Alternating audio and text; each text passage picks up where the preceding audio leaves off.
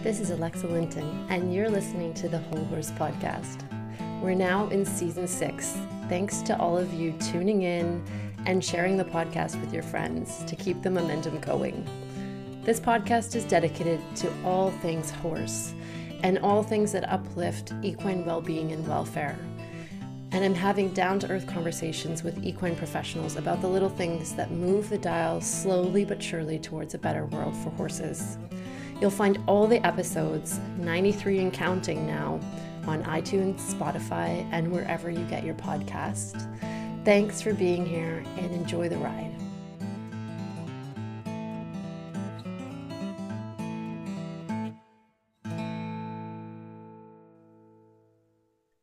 Hello and welcome back to the Whole Horse Podcast. It's Alexa Linton here and excited to be with you for this new season and excited to be introducing you to my next guest, a new guest on the podcast. We have Claire Marshall here from Plateau Holistic Equine. And Claire is uh, we've had this little chat before the podcast, and I'm already super fascinated. She's an archaeologist turned saddle fitter. So, Claire, welcome to the podcast, and thank, thank you for you. being here. thank you for having me. I really appreciate it. Oh, it's lovely to have you. I've seen, of course, uh, some of your work through Lockie Phillips and have been sort of watching from a distance as he sings your praises and shares about some of his experiences of your work. And I would love to hear yeah. in your own words what is it that you do? It sounds like such a fascinating combination of, of knowledge that's coming together um, yeah. in this career. Yeah. Yeah, so um, just a bit of background information, really. Um, I came to horses as a hobby and a passion when I was 11. I had a, a riding lesson for my 11th birthday, and then and pretty much after that, I was hooked. Um, it wasn't until you know I, I never ever envisioned, envisaged that I would ever have a career with horses. It was something that kind of came to me by accident it wasn't planned. Um, it was it was a kind of progression of a lot of left field interests and um, you know uh, you know that traditionally the equine industry has you know it's kind of so so the amount of work for very very little reward in terms of kind of mm-hmm. financial reward. And it's always about the passion. But i think everything that i've ever done is you know it's there's never really been a monetary reward that's been kind of at the forefront of what i've done anyway. But um, I came to this actually to this work um, as a result of my work actually in archaeology, in research archaeology, and um, writing and uh, doing, um, you know, the academic circuit, but, but primarily as part of archaeological education, because um, we used to do history on horseback. Um, so the horse in history was a big part of what we did, mm. Um, and we would do living history displays. Uh, so everything from Iron Age Europe, because we, you know, were that that was based in the UK. So we were doing the Iron Age, Roman, Anglo-Saxon, and then um, and I also did um, the the English Civil War, which is the um, mid seventeenth century time period, and it was really the fascination with the saddles, uh, the, the way of training the horse for war initially, um, and and you know this kind of combination of bringing the two together, and then I decided um, to kind of tra- make a shift to transition from doing um, pure archaeology into the you know cr- creating the business around the education side of it. And that's led to us doing work for museums on replicating archaeological examples of saddles. Um, and then I, I, it kind of took me to the whole idea of uh, the baroque saddle and or or the, the, the saddles which we now refer to as Iberian saddles, so saddles for Spanish or mm. Portuguese horses, because those traditional saddles have have changed very little since uh, the bullfighting saddles of the 17th century, the 18th century, and also the relvache saddle, which is a precursor to the modern dressage saddle, which was invented by a minor aristocrat from the Alentejo in Portugal in around about 1890. So there's there's a lot of kind of connections between the training the horse and the type of equipment that was used, which really fascinated me. Mm-hmm. And as a result of that, I I was doing a lot of work on, you know, trying to get the, the, the materials, the shapes right, but also for people who wanted to use them.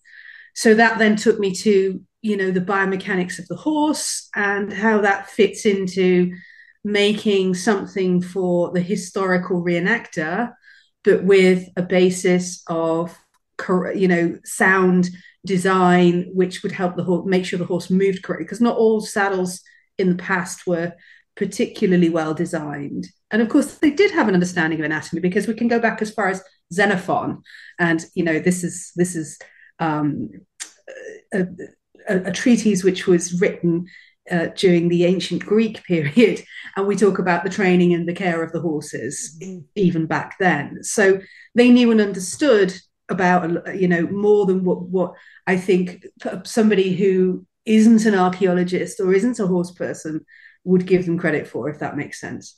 But yeah, that's where I came to. But now it's kind of really evolved into something very, very different from the early days. Um, but I did come from this from a very, very different angle to a lot of other people who come into the to the equine industry. But as somebody who is so passionate about cross curricular or interdisciplinary collaboration, I think it's really important that these people are allowed, you know, people from other sectors are given a platform to be able to kind of feed into the conversation and feed into the research into things like saddle design, um, the relationship, that the, the interaction between the rider and the horse, for example, you know but i can get into that a little bit later but i mean that's kind of just looking at my where i was coming from where i was you know starting out from but that was my story. It's a little bit long-winded but it's you know it's it's uh I, I i appreciate that that what i've learned and what i can bring to it from a history perspective does have a bearing on what we are doing today because the thing is is design concepts come in cycles as well so things is, things have been done before and then we can say well actually this has been done in 1895 and here is the patent for it in the journal of harness makers or something um, but we t- seek to obviously we can use new materials and refine things but yeah that's where i was coming from was i think the history perspective is really really important I find that so fascinating. Uh, you know, in terms of a few things. I mean, me being in North America, um, typically we have kind of two types of style, right? Yeah, English and our Western, and then variations between the 2 mm-hmm. Um, and I think that yes, we've lost the the the roots of that where where mm-hmm. did these designs come from? Why are they done this way? How do they interact yeah. with the body of the horse in positive or maybe not so positive ways? Of course. Right? Yeah. so in your research have you found like the holy grail? Have you found like this is the saddle that does it all? Or is it more a sense of like you know lots of different things work for different horses. Yeah so so there were there, there is if you go back in history if you go back into you look at um, saddles from and i'm going to go way way way back. I'm going to go to the dawn of you know not the dawn of time but um, of of our, the archaeological evidence that we can draw on um, and I'm going to use Britain as, a, as an example because that's where the majority of my archaeological work was done. Although I have, you know, I did look at some when we, we chatted very briefly before about me being in Canada many, many years ago. And, you know, I was talking to Indigenous people, to First Nations people in Canada about horse culture and about the type of saddles that they would be using. But I'm going to use just examples from Britain. Um, and we have examples from the early Roman period. Um, and they are just fragments. They're just very, very small fragments. And they are covers. So there's a they are there's a leather cover uh, which was found in Carlisle, which is in the north of England, and it's right on. You you might have heard of Hadrian's Wall, which is that Roman wall that goes from coast to coast, about eighty three miles long, I think it is. And um, up in Carlisle, which was one of the main Roman settlements, there was a uh, a leather cover that was found and a few pieces of the uh, bronze that, that sits on the outside of them. And we see there's a few of these examples um, but they are like a what they call a four horn saddle. So it's it almost looks like a pack saddle, and you could, if you're looking at t- Roman tombstones, for example, you will be able to see examples of these saddles, and they'll have a, a, a like a horn on each corner, like a mm-hmm. small horn, um, and they didn't have any stirrups. Uh, we don't see stirrups in the archaeological record until about the sixth century in Europe. You see them slightly earlier in the Far East, but you don't see them in Western Europe until about the sixth century. We call that the migration period when Saxons are when when you see a culture changing ever so slightly and interacting with the with the the British the Brit- Romano we call the Romano British cultures. But you see these saddles in this context, and then you start to see a slight a change. So you see. Um, and but they're also used as pack saddles, so you can hang things off them. You can, you know, take your mule or whatever.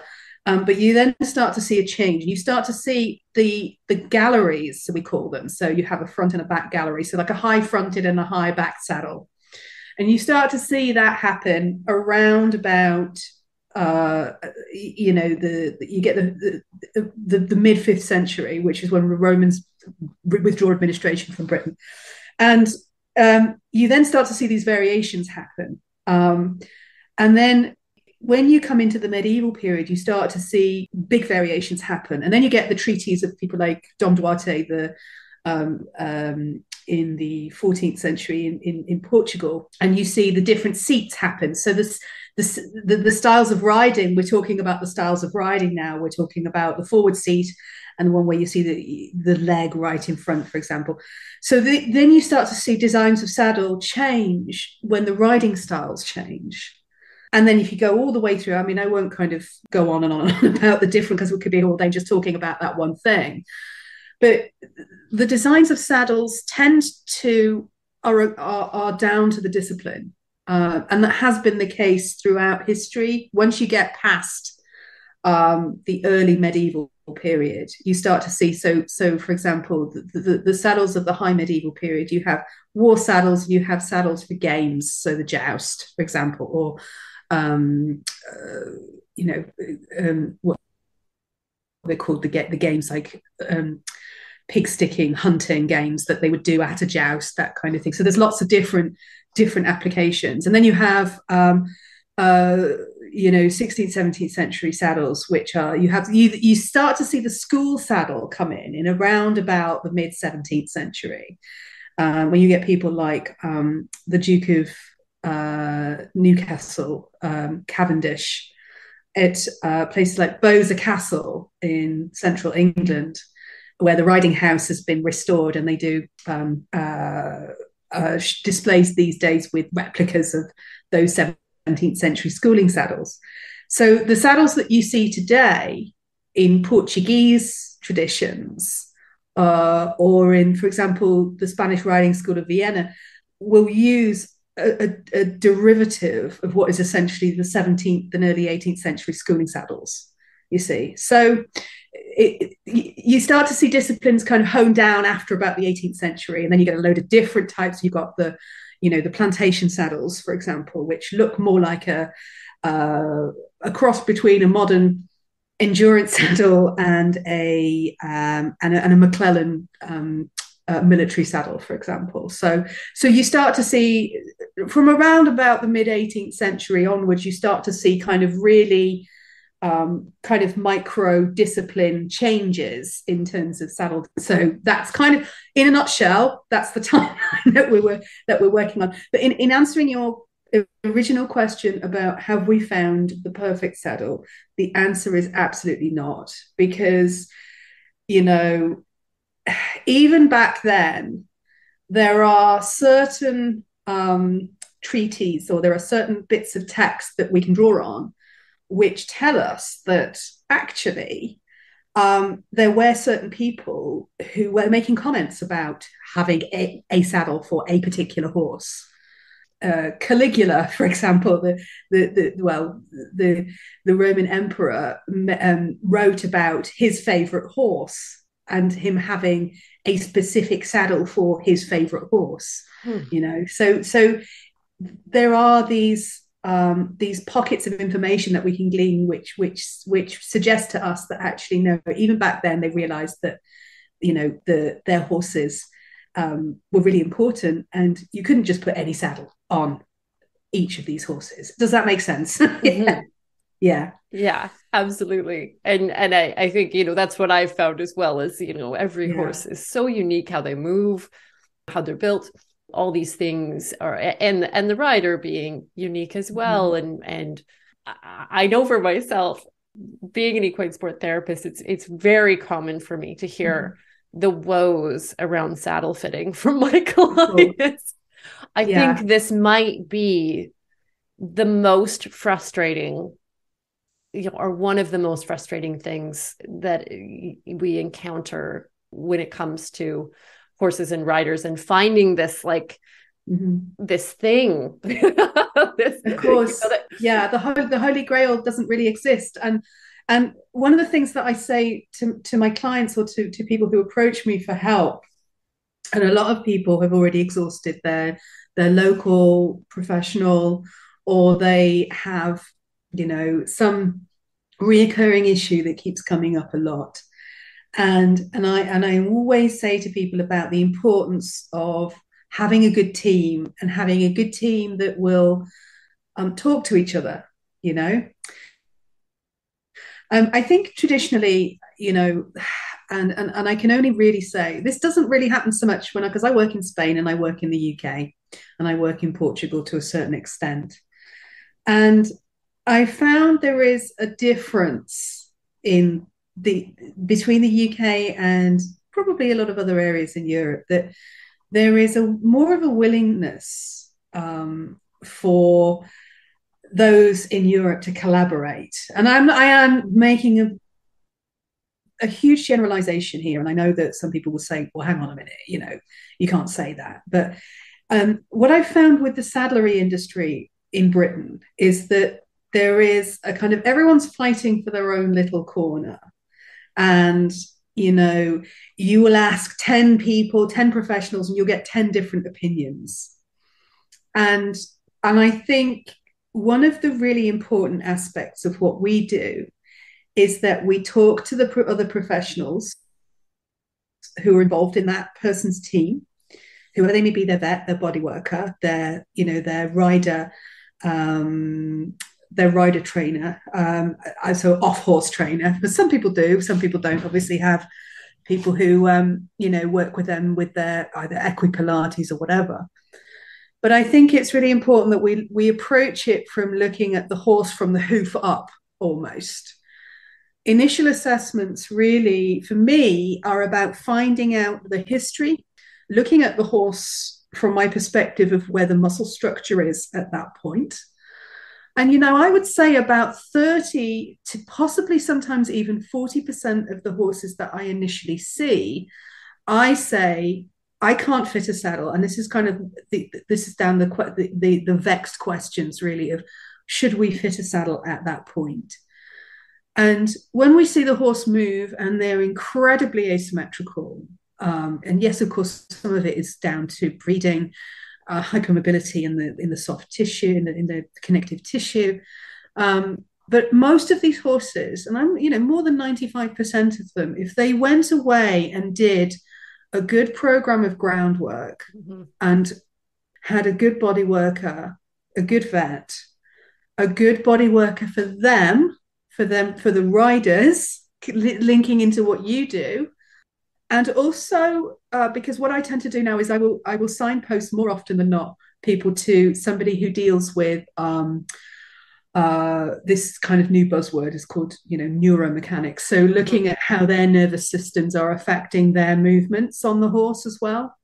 So we get into some kind of more an esoteric thing, but what we're finding now is that this is going a, a really long way to helping them sort the saddle fit out because they are, you know, for example, they might have vestibular nervous system problems. They might have their vision in one eye is is massively out. So of course, when you're riding a circle and you're turning more one way than the other to see where you're going, you're blocking your horse one way or the other. So we're, what we're trying to do is to employ some science of motion principles into into assessing the rider as well as the horse. And and I would say that about 30% of the horses that I see, sometimes even 40%, I will say to them, I'm not going to fit a saddle for you now. I'm going to send you away to have the horse checked.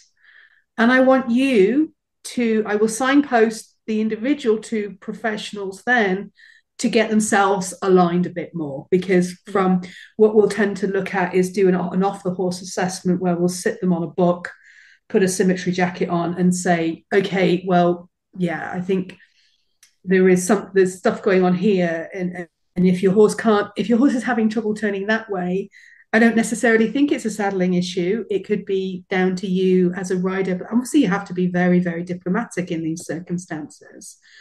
Um, but I think by the by the time somebody's come to me or some of the, the other fitters who do work in the same way that I do, they're really on board with these concepts anyway. So having the conversation with them is a really useful exercise.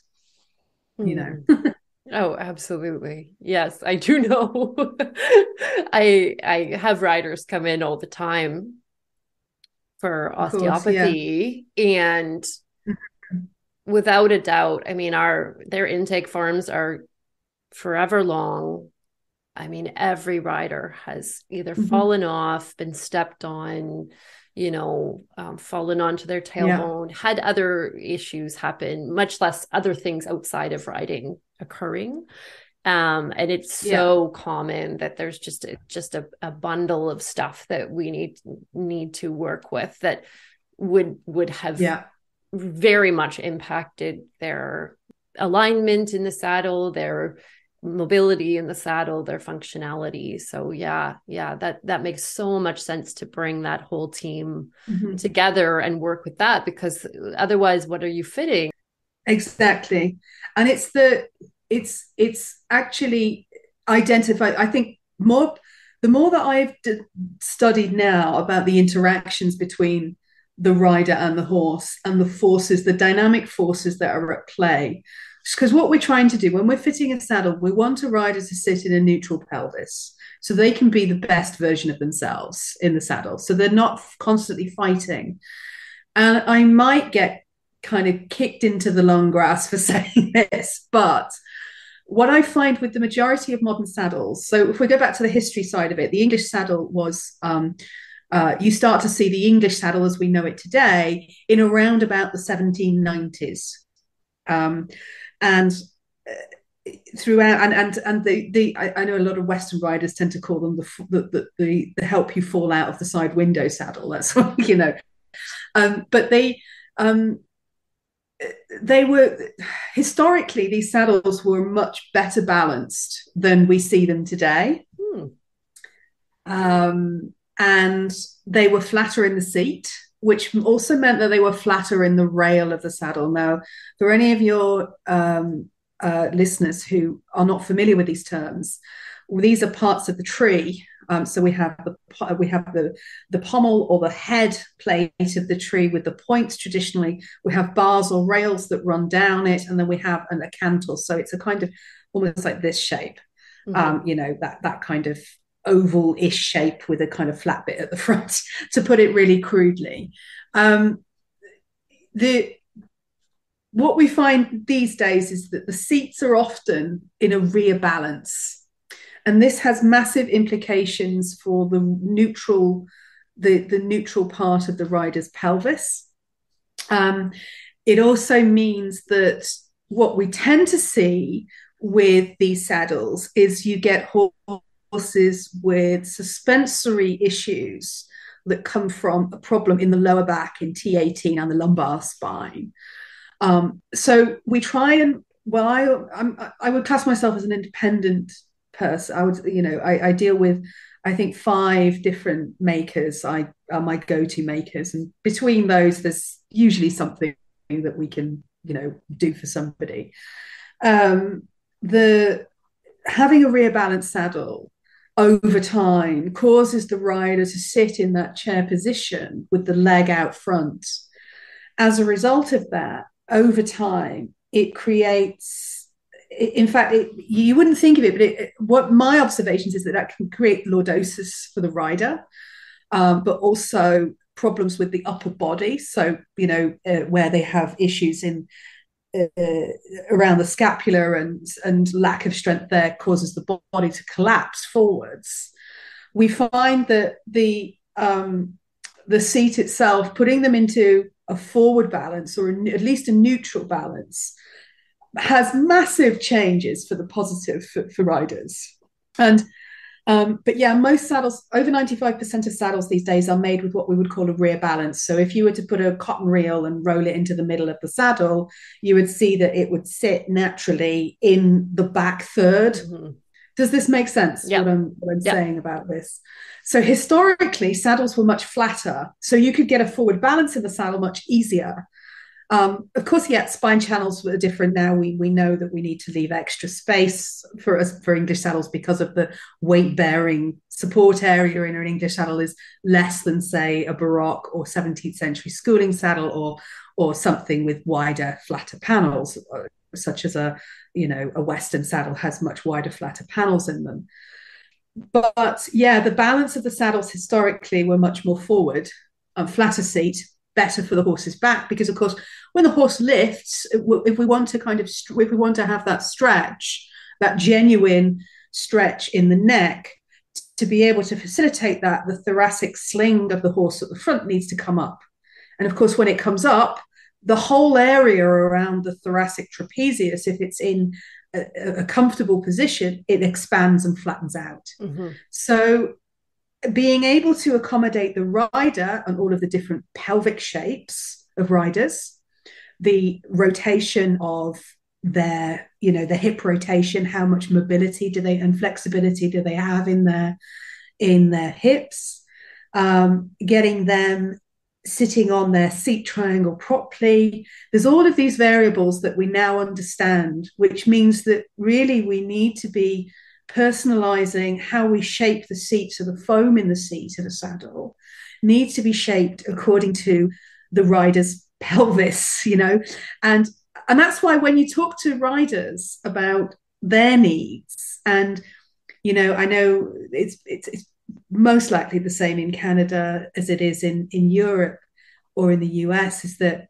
oh well, I'll be okay. Just make sure the horse is fine and and I think from your perspective as a, a human bodywork professional that you know getting that 50-50 balance is absolutely key to making sure that the rider is you know the best version of themselves as well. Oh yeah. You you say this to a girl that rode for years in a western wade saddle that was like a 17.5 inch wow. seat and I'm tiny, like I'm a like That's a little a big person. Old seat for a Western. I should have had like yeah. a maybe a 15. And I was like, but I love the okay. saddle, right? So I I get it. That happens yeah. all the time here, right? Where people are like, I'll just make it work. And that shift in thinking of like, no, we gotta, we gotta find that that right fit for everyone. I, I have a burning question, yeah, Claire, around because you were ch- chatting about different pelvises and fitting different pelvises. Yeah, I would love to know the history of. I'm assuming, but this may not be true, that many saddles are based off a male pelvis. Is that is there merit in that? So the we, we've kind of gotten into this whole female male pelvis debate yeah. recently and i think that's been a kind of it's been a kind of research hot potato between various researchers. Um, and the interesting aspect of that is, is that whilst obviously female pelvises have a birth canal, male pelvises don't. Um, the actual interesting part of it comes out of some research from Selle Royal, the bike seat makers for, for, for push bikes, for bicycles. And they did some work on, uh, they did some research on pelvic imprint shapes. So mm-hmm. we're not talking about the flesh, we're not talking about the soft tissue. We're actually talking about doing the imprint of the, the of the of the, the contact point. So you know yep. your triangle, if you like. Um, and they their research found a huge overlap between male and female um, seat awesome. bones and the balance in the seat. And this is now going some way more to inform that kind of work um, about creating different shapes in the in the foam of the seat because as a as you might know when you're producing an english saddle you have your tree you it's strained into shape depending on you know this is a traditional traditional saddle um strained into shape then there's some foam that's put over the top and then the leather is blocked over the top that's the very mm-hmm. that's the a very simplistic you know um, uh, explanation of it but what I think that research has done has kind of generalized. Uh, so, so previously, before Selle, the, the work by Selle Royal came out, um, and other researchers who were looking at. Um, so, primarily, um, one of the leading researchers in looking at individualized pelvic shapes in saddles is Maria Hallring in in Sweden. Mm. Um, um, she her her uh, uh, company is called Ergo X2 Saddles, and it's uh, it's also a company that I've been doing some training with myself. That we can kind of get this. I wouldn't say the holy grail of fitting the female pelvis because obviously the research is ongoing all the time. There's new stuff that's coming out all the time. But Maria's work for me has been some of the most pertinent in bringing together different professionals um, and looking at different ways of assessing each individual rider for, for, for a new saddle. Um, so that's, uh, I mean, we could probably put some links in um, if, if this is yeah. going out, you know, we can put some links up to some of that research as well, and also to the work that Maria's doing, which is qu- quite groundbreaking because she's actually spent over 25 years doing this work. So she has um, uh, imprints of the, the seat triangles of thousands of riders um, uh, male and female, um, more women than men, but the the actual shapes um, don't really. There isn't really a marked difference mm. between male and female, but there is an overlap. I think it's a. Someone will correct me if I'm wrong, and I don't have the figures entirely to hand, but I think it's about a 15 mil difference, and that's it between the widths of the, the male and female pelvises.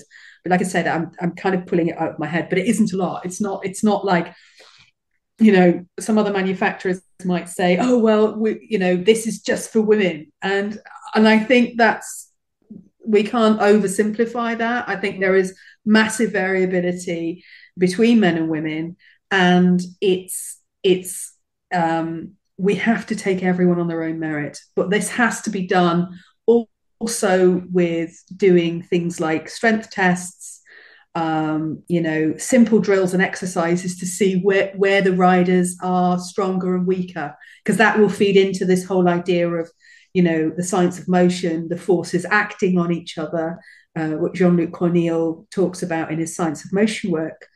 Um, so i think but but i think history has a lot to, to tell us as well you know, because mm. um, I think if we bring together designs from the past and looking at, you know, what we're doing now with things like material science, uh, the new science of motion, um, looking at, you know, gait analysis of the horses and how that relates back to how the riders react to asymmetries in the horse as well. And I think that's a really important area of, of how we should approach saddle fitting as well. Mm. So for me, oh, as we share, I shared before the podcast, I had as an equine sport therapist some uh, saddle fitting education ish, and it was quite rudimentary as compared to any of this. Mm-hmm. One of the things that I do mm-hmm. have curiosity around, I totally um, love that you highlighted the need for that thoracic sling to lift and flatten and and to work properly. Mm-hmm. I think mm-hmm. that's so critical um, for so many horses. Mm-hmm. The other thing that we, of course, learned about was bridging and this sense of you can't have bridging and you like, like you know became this yeah. this real thing. We even like made these shims and it was this whole thing of trying to create a saddle that didn't bridge. What is your yeah. Yeah. What's your opinion on bridging? I think um, it's one of those things that people can get a little bit over, uh, a bit obsessive about. Yeah.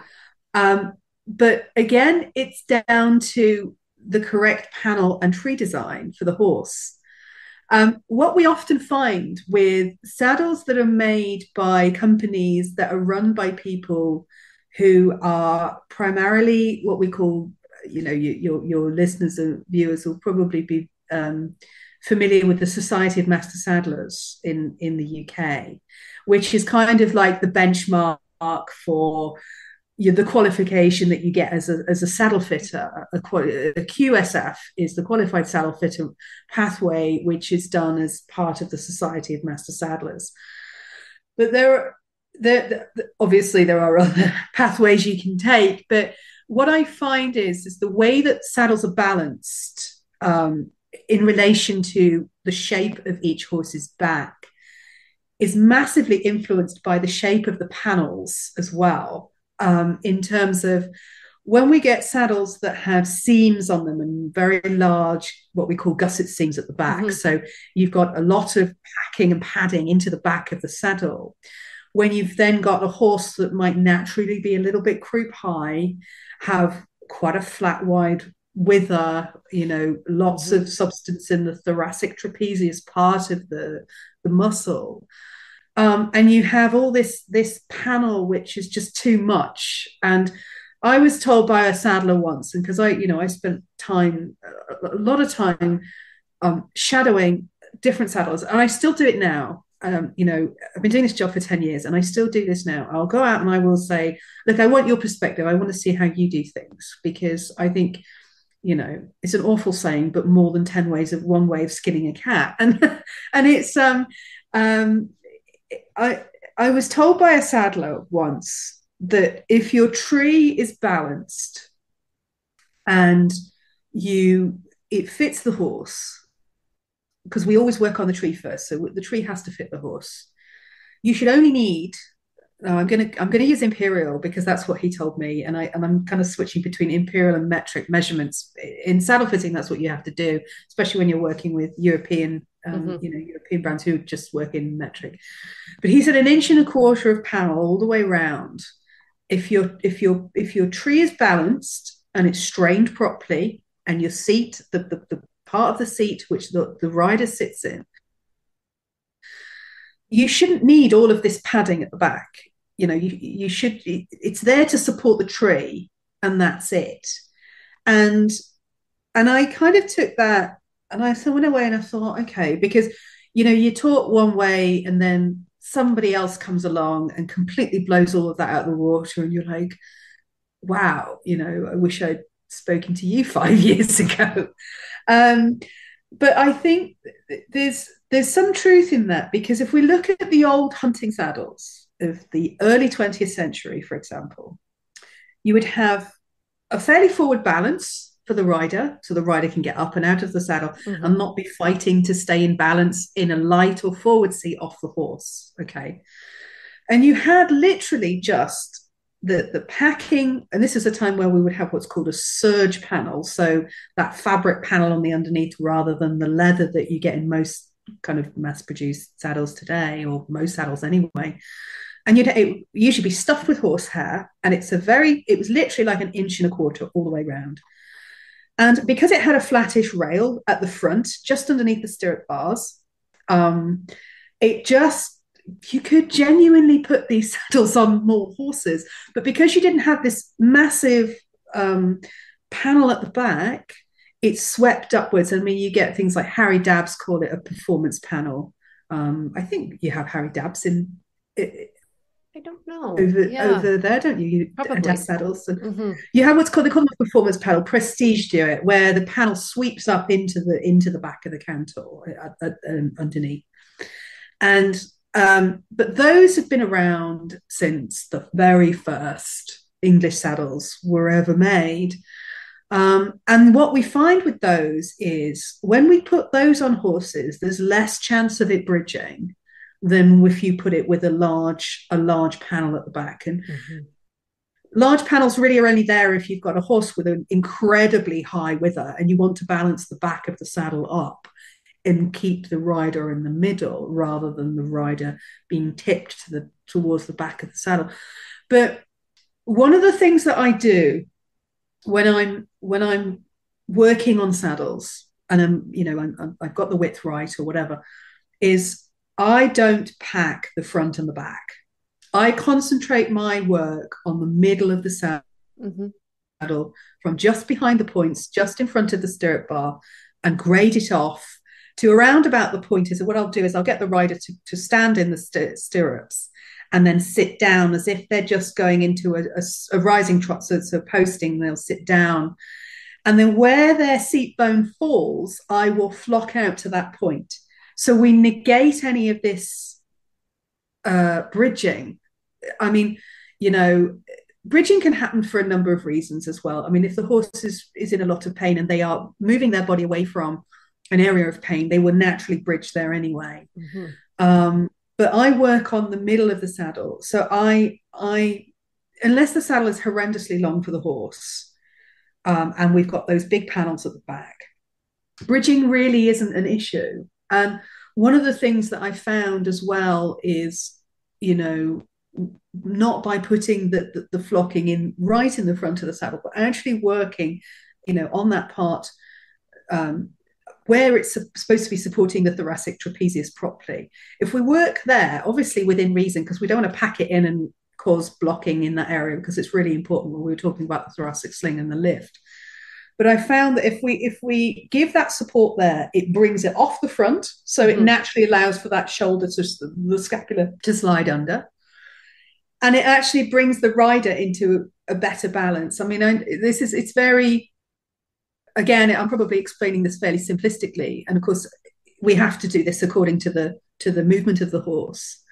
But I found that actually concentrating on this area and making sure that the flocking is absolutely right there Mhm. first before I go to flock any other part of the saddle and grading it properly so that it supports the rider in that optimum position, then we don't have to do a lot more with the saddle after that. Um, and that again is one of the principles that we've learned. I mean, I was doing this before, but I think it kind of affirmed what I was doing when when when I was talking to Maria Hallring about this and about their how their saddles are, are made. And and it's it's a really interesting um, way you know the dynamic of it and how it sits the rider then in in a better position I've found. It it really helped me to uh, with these horses that generally have really real problems with anything touching their shoulder, their scapulars, because you know we get uh, that need that open head or whatever. You, you, know, yes, some of them do need it, but not all horses need that massively open head on a, on a tree. Um, so that very U-shaped head that you Mm. might well have seen Mm. on um, on certain brands, on certain makes of saddles. But yeah, I found that concentrating on that area that we talked about in terms of the thoracic sling, the lift, taking templates of the static and the uh, before and after working, so we know how much expansion that muscle has through, you know, whether when there's blood's flowing to the muscles, um, and extrapolating the difference between that. And, and I think that's a really good starting point to avoid bridging in your saddles as Mm. well. Mm. That's a bit long-winded answer. But, you No, know, that's it's- it's so it's, um, helpful. it- and it brings up a million other questions for me.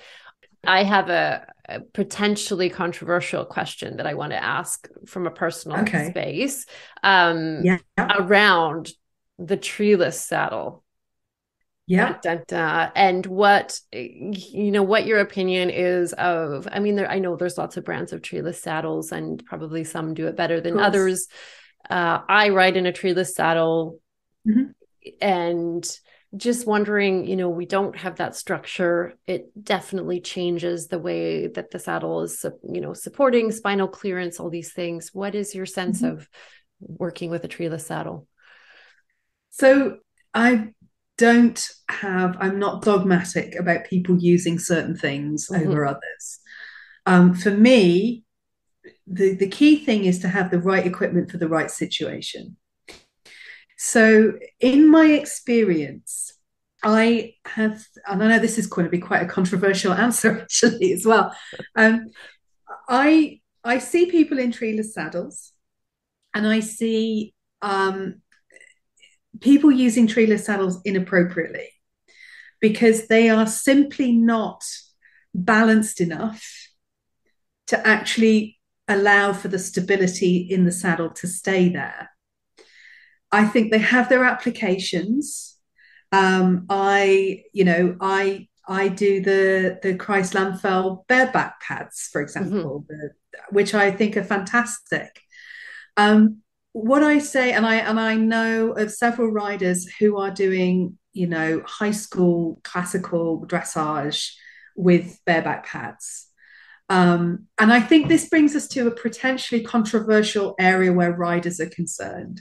And that's with riders who are a bit too heavy for their horses. Um, so looking at the 15% of, of body weight, um, the, the, the body weight of the horses index and how there is a potential for micro temporary lameness to come in when you're riding, when you have a rider who is over that. I mean, of course, it's it's different between breeds and it's different between fitness levels, but this is this kind of arbitrary cutoff point that are, that that is informing a lot of decisions at shows or at you know riding schools or whatever. Um, I think in the right hands, I think they are an incredible tool. Um, I think there is a lot, there are a lot of really bad designs out there, but there are a lot of really bad designs of all saddles. Mm-hmm. Um, so I'm not, I would never single out the the treeless saddle. I work with flex tree saddles. Um, so uh, th- th- there's a, a, couple of different makers that I really like who do flex tree saddles. Um, so either they are made using uh, a rail with birch ply and leather laminate, which mm-hmm. was uh, pioneered by, by Passier in the 70s, um, or they they will do what's called an articulated or broken tree saddle, as the Portuguese called it, where they would put cuts in it, cuts in the rail of the tree, and they bind it with rawhide, so it makes a flexible uh, but they have they have a fairly limited lifespan. Those that mm-hmm. particular type of tree of between five and seven years, and then you start getting twisting and and whatnot in them. Um, so I, I love the idea of a saddle that can move with the horse. Um, assuming that the horse isn't horrendously asymmetrical, but going back to what we were saying at that point, I would say get off the horse, do a groundwork program with a trusted trainer, go and see a body worker and do all of that first. But um, I think the the treeless thing. What I have seen with some treeless, I think the only time that I wouldn't recommend prolonged use of a treeless is if you have an unbalanced rider who is spending hours and hours and hours on trails like this mm-hmm. and doing some incredibly tricky, difficult work on some really difficult trails. And I think that's when I tend to say, maybe look at a well fitted treed saddle or a flex treed saddle in that instance. But you know, I know a lot of people who are schooling perfectly well in treeless saddles as well. So yeah, I don't I don't have I'm not I'm not one of these people that would dogmatically say don't use one. I mean awesome. that they're all the devil's work at all. So you know that's amazing. So we're going back tools for the job. And if the tool if the tool works and it, it it's not broken, then don't fix it. Yeah, you know, I I uh I've ridden in. Uh, I always say the name wrong, but fit fit fit fit settle bareback pad thing. Okay. Um, which is a more foamy, yeah, luxurious, uh, padded for the horse. Um, but I, I found uh, that I I for my own back needed a little bit more support and my mm-hmm. my mare did as well but we kind of you know we cruise you know yeah. we yeah, we yeah. do a 2 hour trail walk riding, yeah, yeah. um, you know, on pretty easy stuff. Uh, so I I totally get that sense of yeah, you know, it's it's do you know looking at the use and how I think so how that's impacting the horse that that's really helpful I'm sure for a lot of mm-hmm. listeners as well to go okay you know what what am I doing there with that um yeah. I, I have you know so one of the things I often see especially with uh well with, with both English and Western here is this sense that people are using tons of pads and bumper mm-hmm. pads and sheepskins yeah. and all the things. Um, and I would love your your take on that. I think a li- see, I, I always say if somebody's kind of using a lot of padding, you are um, you're raising your center of gravity and you're creating the conditions for instability especially if you have an asymmetrical horse on a rider who's asymmetrical in the same way, your saddle's just going to fly off to one side as soon as a, they get spooked by something, you know, a, a, deer or something out on the trail. You know, it's it, for me padding again is very individual, and it's down to the horse, and, and more often than not, the horse will tell me if they want more padding or not, because with the best will in the world and the your training that you do there will always be horses that don't that don't conform to your idea of how they want their saddle fitted. Like us, you know, we like our, you know, some people like their skinny jeans and some people like their slouchy pants. So it's um, that I carry four or five different types of pads with me. Um, and what I aim to do is if I have a horse that's coming back into into work or a young horse, mm-hmm.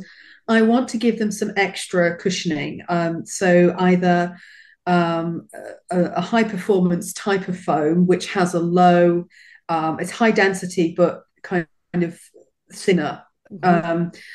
Uh, some foams just have too much rebound, and on wider horses, you want to be able to make sure that there's stability in there. So you don't want a foam that's going to bounce, a bit like a trampoline effect. So it's all again down to material science that we understand our products. But I love sheepskin, and one and I love sheepskin um, using it for young horses um, and for horses coming back into work, which just gives them that extra little bit of support.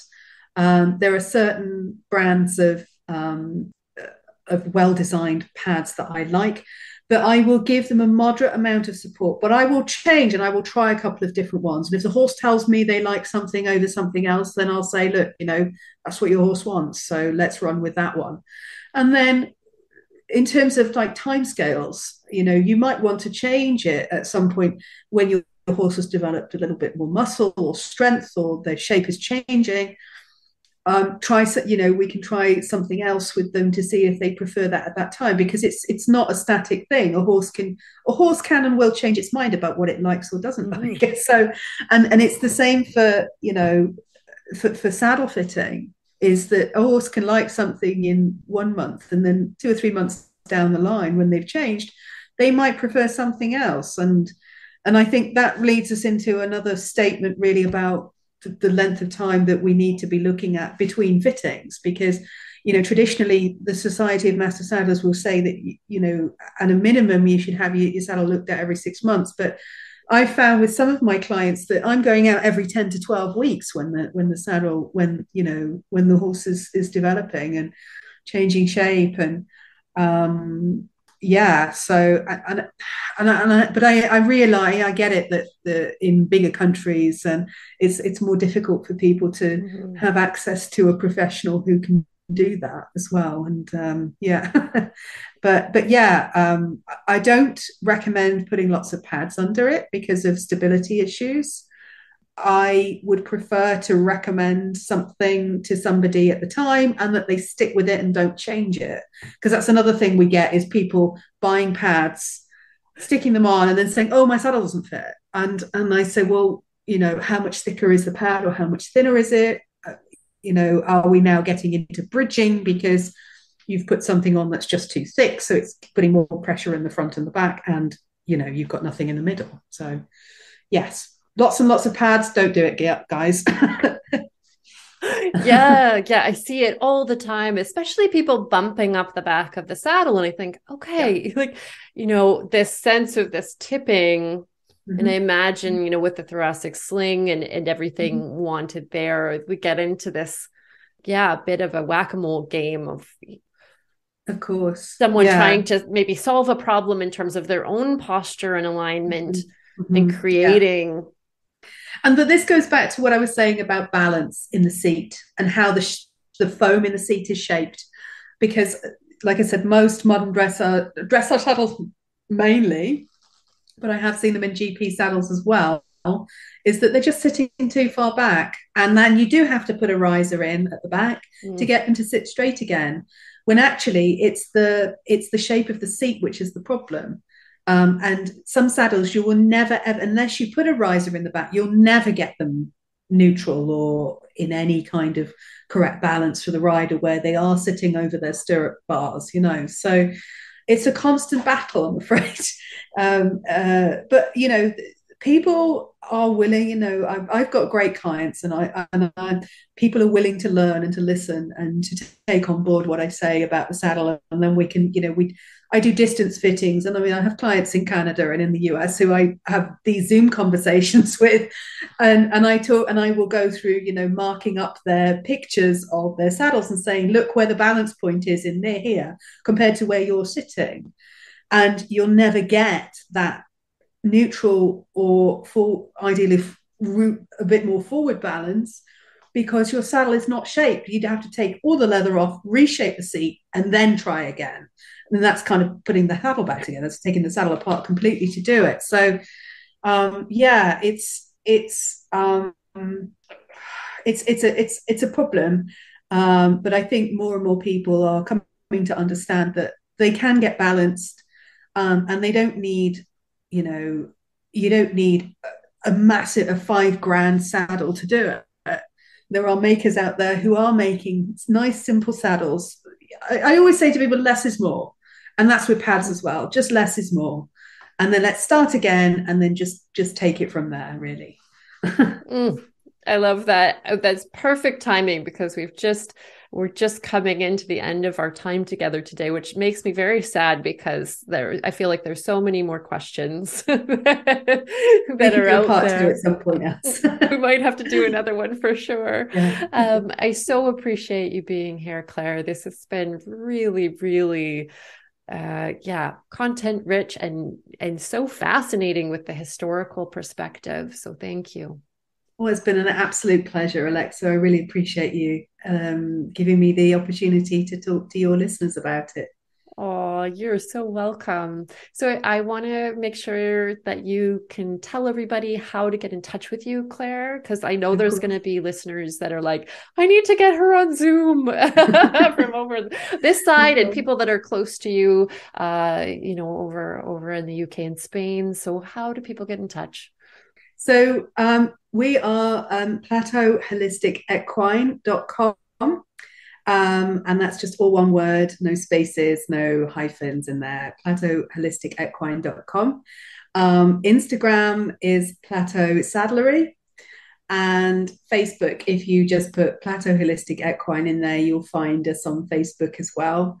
Yeah, and you can get in touch via the website uh, or via social media, uh, and we can have a conversation. You know, so I'll be more than happy to to engage with some of your listeners in any way I can, even if it's kind of, you know, helping out with a discovery call or a, a consultation, and then working with, you know, fitters in in their country or in Canada or the US or whatever.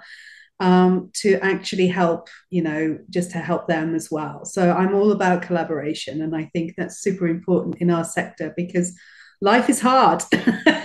and we need all the help we can get, especially with horses. Oh, for sure. And at the end of the day, we're here for the horses. So that's where I go to with collaboration. It's like whatever mm can help. So, yeah, this is definitely a big piece of the puzzle. So that is great. For all of you out there, I hope you enjoyed. And if you are having saddle fit issues or questions, reach out to Claire and I think I might be as well. uh, so appreciate appreciate this conversation, Claire, and Thank thanks. You. thanks everybody for listening in today. And we'll see you next time. Bye for now.